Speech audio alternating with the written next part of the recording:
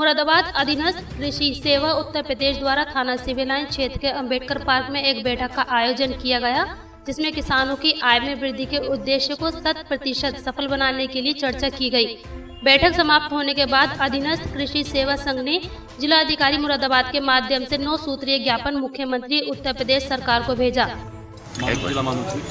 भाई साहब क्या नाम है आपका और किस बात के लिए मीटिंग की गई है? हाँ मेरा नाम मनीष कुमार है। हमारा एक संघ है। अधीनस्थ कृषि सेवा संघ, उत्तर प्रदेश जनपद इकाई, मुरादाबाद।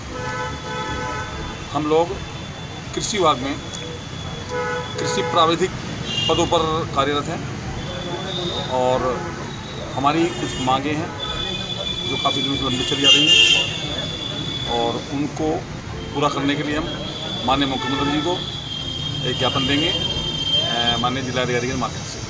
आज तीन बजे का प्रोग्राम है और मैं अपेक्षा करूँगा कि हमारी मांगों पर माननीय मुख्यमंत्री जी सहानुभूतिपूर्वक विचार करेंगे और मांग मांग पूरे, पूरा करेंगे ऐसा मुझे विश्वास है।